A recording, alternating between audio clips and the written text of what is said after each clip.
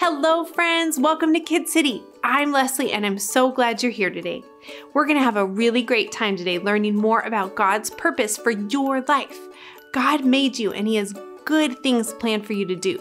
That means He has good purposes for you. One of those purposes is telling others about Jesus and how much He loves them. We'll hear a story from the Bible that will teach us about, about that today.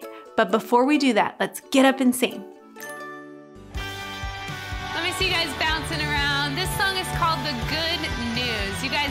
Told us that He loves us so much, and He said that we should love the Lord our God with all our heart, soul, and mind. So we're going to sing that out right now. Here we go. You must love the Lord your God with all your heart, soul, and mind. This is the first and greatest commandment. A second is equally important. Love your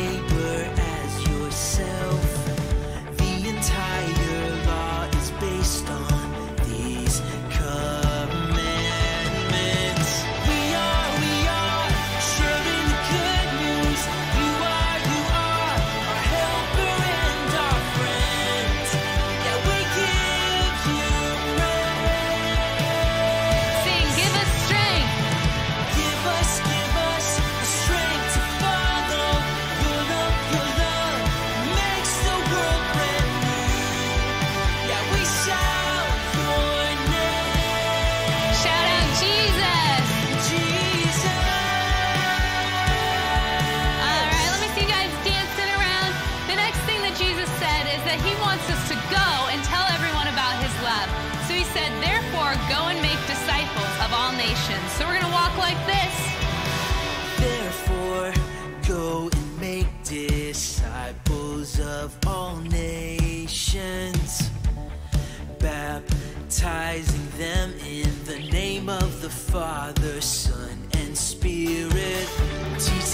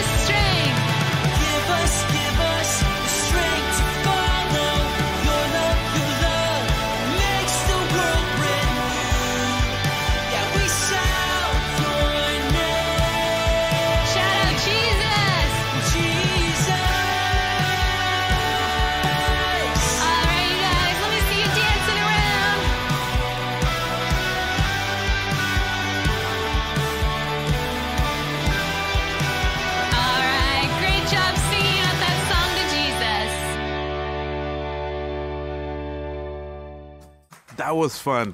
You guys sounded so great. You can go ahead and sit down now. That song reminds us that God made us to love people. One way we can show people we love them is by telling them the good news that Jesus died for us and wants us to be in His family. There's no better way to tell someone you love them than by telling them about God. I actually know a great story about a guy named Paul who spent his life telling other people about Jesus. Because Jesus loved Paul, he wanted to help other people know they are loved by Jesus too. Let's hear about Paul in this book right here. Do you know what book this is? This is the Bible. This is God's very special book that tells us stories of real people and places from a long time ago. Let's put our listening ears and our thinking caps and let's watch our Bible story. Stories of the Bible. Paul. This is Saul. Saul was a Pharisee who hated the followers of Jesus so much that he would hunt them down to be brought to trial in Jerusalem. And he would even seek to murder them.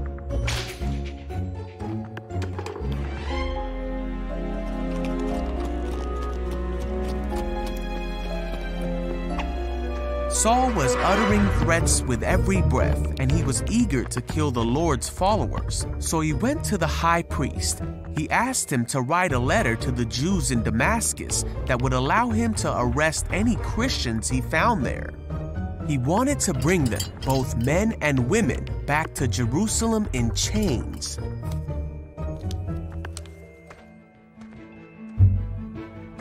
Now Saul went on his way and as he came near Damascus, a light from heaven flashed around him, and he heard a voice that said, Saul, Saul, why are you persecuting me?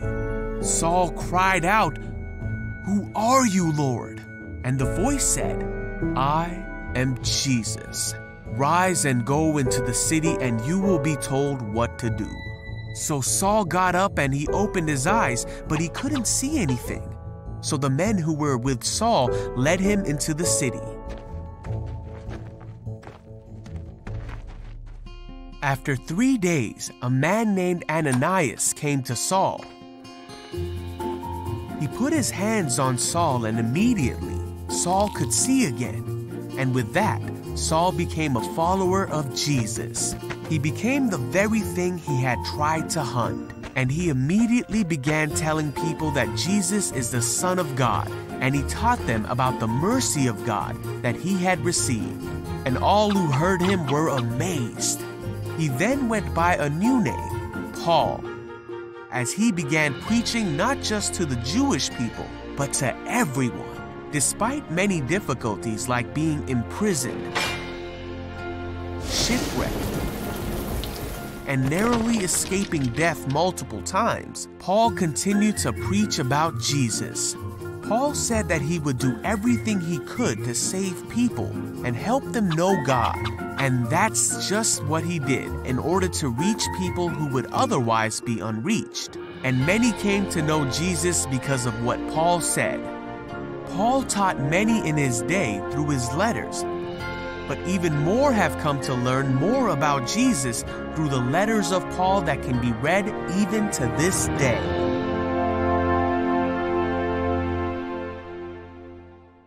Wow, when Paul met Jesus, he told everyone about Jesus. And guess what? We can read about Paul and other people in the Bible and do what they did. Tell everyone about Jesus too. There's so many ways to share about him. You can tell someone about church at home. You can tell them about what you learned in the Bible. Or you can even write notes or draw pictures to remind people that God loves them. You know, I think we should draw something right now to remind us that we were made to share God's love. That's right, it's color time. Grab your markers and some paper, and let's see who Gus will teach us to draw today.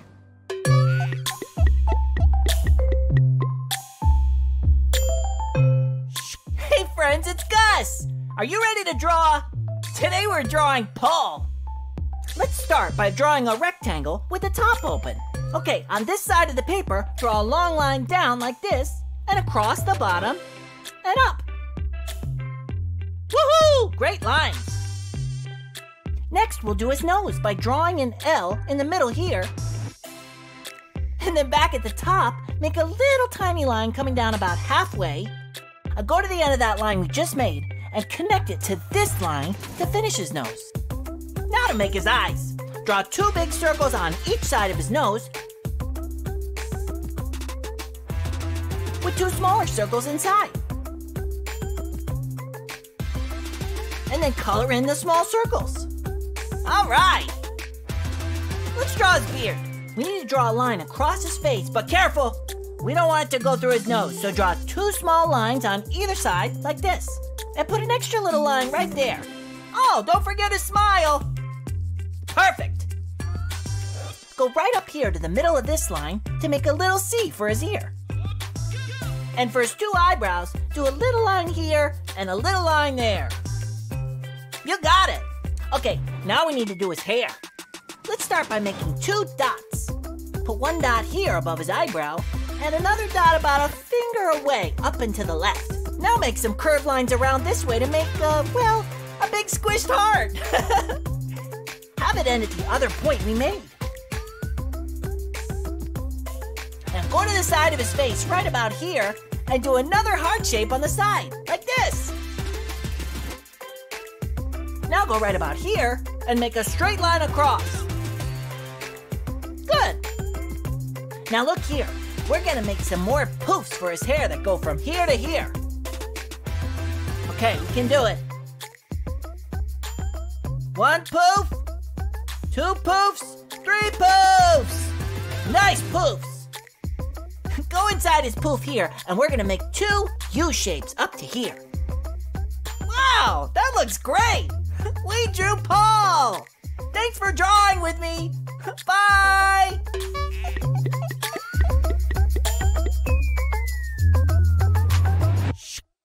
Wow, that was awesome. That drawing of Paul can remind us that Paul spent his whole life sharing God's love.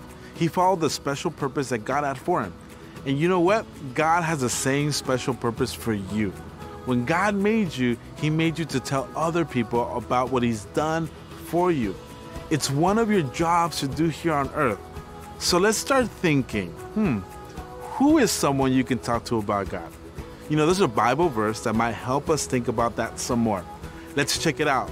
But oh, oh, we have a little bit of a problem. It's all covered in bubbles. Can you guys help pop all the bubbles so we can read our Bible verse together? Grab your bubbles and let's get popping. Okay, everybody, it's bubble popping time! A bubble on the left, a bubble on the right, bubble up high, and bubble down low.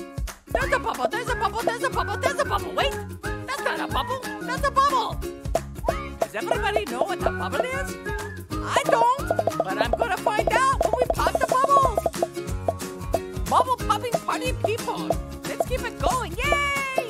Pop them to the left, pop them to the right,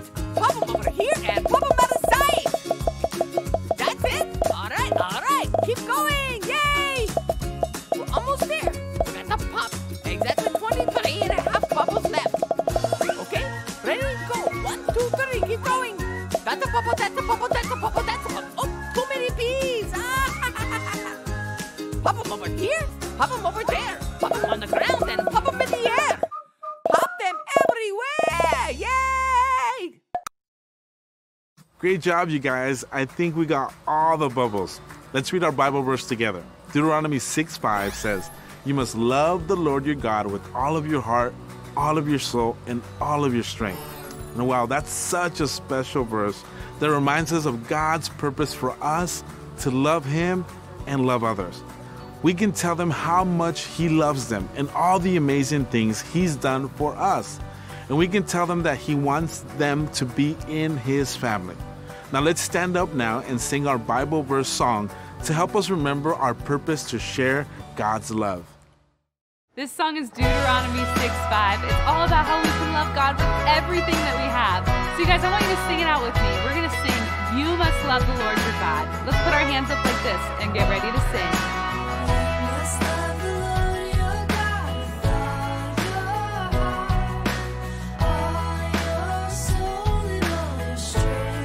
sing that out again.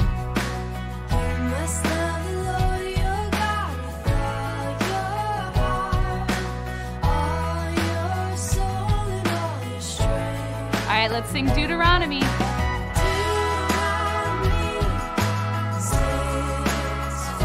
it again.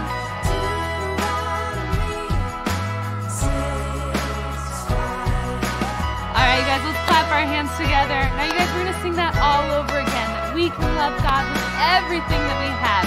So, you guys, this time I want you guys to be thinking about how you can love God. Let's sing.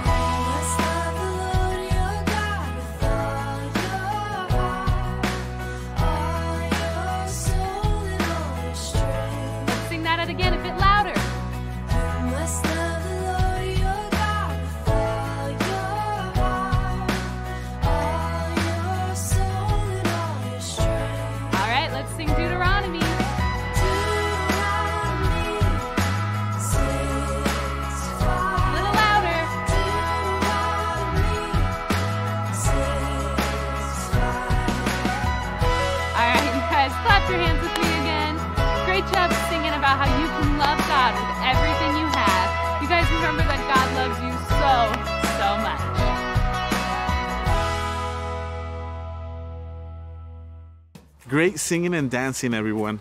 You can have a seat now. The Bible verse reminds us that God made us to love Him and love others.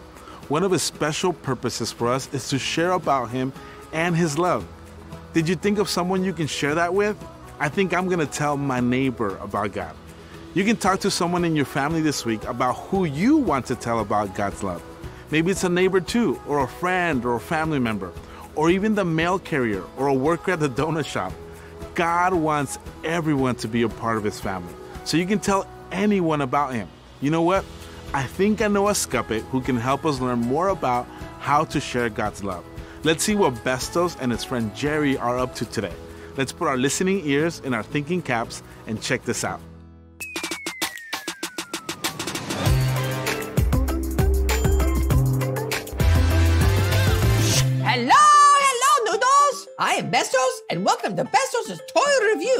Where I will tell you what I likes and don't likes about the toys here. Today's Han, my brother, sent me this toy. Let's see what it is. Ah, monsters! My favorites! This guy looks like he could be my friends. What is this box of monsters?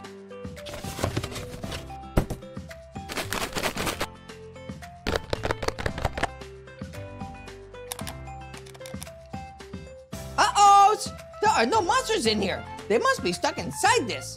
Hello, monsters. Are you there? Uh-oh! I need helps. Bestos, hey, it's good to see you again. Mr. Jerry, I need helps. There are monsters trapped in here. Oh, Bestos, that's the Osmo Creative Starter Kit. The monsters aren't trapped, you just have to set it up to see them on your tablet. Oh, is this a tablet? I thought it was a candy bar. That's not a candy bar, that's an iPad. Yeah, so you just plug it in, and then it, that's it. It's really cool. See, there's the monster. Oh, Hello! You are orange like my brother Han. Yeah, and then you can draw stuff, and the monster will take it and put it on his screen. Look, he took my pineapple. Whew, nice. Yeah, it's kind of like you're sharing your drawings with him. Hey, that reminds me of one of our purposes. What's that? A kind of monsters? No, not really. A purpose is what something is made to do. God made us with a purpose. He made us to share. Like how I am sharing with the orange monster. Yeah, but God made us to share about Him with others. That means He made us to tell other people about the good things that God does. When we learn about the good things God does for us, we can tell others about those things too. I heard that God loves me. Should I tell others about that? Absolutely. When we love Jesus, our job is to tell others about how much God loves them. How do I do that? Well, you could tell someone about what you learned at church or what you learned from a Bible story. You could even write a note or draw a picture that tells people about God. What if I make a picture with this orange monster and then I share it with peoples? That's a great idea, Bestos. Remember, you were made to share about God with others. Now I think you've got this all figured out, so I'll see you later. Bye, Jerry Monster Smash! Ah, Bestos, it's just you. Okay, my baby belugas. I finished my drawings with the orange monster man. See, I made his rooms. I put my favorite things on the walls. Pizzas! And I made a picture of Jesus for his wall too, so I can share about God with the peoples. Now it is the time for the rating of the Osmo kits on the Besto scale. I likes that I can make pictures and then they go in the monster worlds. I also likes that I can make the pictures to shares. So I give it a roller skate out of 100. And it gets the Besto stamps of funds. Okie dokie, lobsters. Today I learned that we were made to share about God. Love you, avocados. See you next time for Bestos Toy Review. And don't forget to lick and subscribe. Bye. Hey guys, welcome back. That is such a cool story we learned today about Paul. He went from not believing in God at all to telling everybody about Him. We have the really important job of sharing God's love with others. One of the ways you can do that is by telling someone about who Jesus is. Could you tell someone who Jesus is today? Even if they might already know him, you could practice by telling them that Jesus is God and that he loves them very much. Then maybe give them a big hug or a high five so they know how much you love them. Let's pray before we do that. Will you pray with me? Lord, thank you so much that you love us so much and you give us so much love that we have love to share. I pray that each kiddo would feel brave enough to share who you are and how much you love somebody in their life. Would you be with them as they go do that today? We thank you, Lord, for today and for each kiddo watching. Amen. Okay, guys, I'll see you next time. Bye.